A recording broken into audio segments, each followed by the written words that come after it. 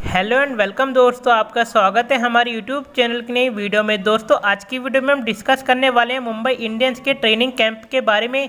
तो please video को हमेशा की तरह तो ज़रूर देखें। अगर आप भी मुंबई इंडियंस के फ़ैन हो और चाहते हो कि मुंबई इंडियंस की टीम चौथा आई का खिताब जीत ले तो इस वीडियो को जल्दी से लाइक कर दीजिए और चैनल को सब्सक्राइब भी ज़रूर कीजिए। तो चलिए वीडियो शुरू करते हैं। दोस्तों, जैसे कि आप लोग जानते हो कि आईपीएल के शून्य बच कुछ ही टाइम बाकी है, इसी बात को देखते हुए सभी आईपीएल टीम अपने अपने कैंप में बहुत ही ज़्यादा मेहनत कर रही हैं। दोस्तों, इसी बात को देखते हुए मुंबई इंडियंस की टीम ने पिछले दो दिनों से अपने कैंप लगाए हुए हैं, जो कि पहला कैंप रखा गया था जियो की कॉपरेट पार्क में, जबकि दूसरा दिन रखा गया वांकड़े स्टेडियम में। दोस्तों, जैसे कि आप लोग जानते हो कि मुंबई इंडियंस का पहला मुकाबला खेला जाएगा दिल्ली कैपिटल के खिलाफ जो कि खेला जाएगा 24 मार्च 2019 को।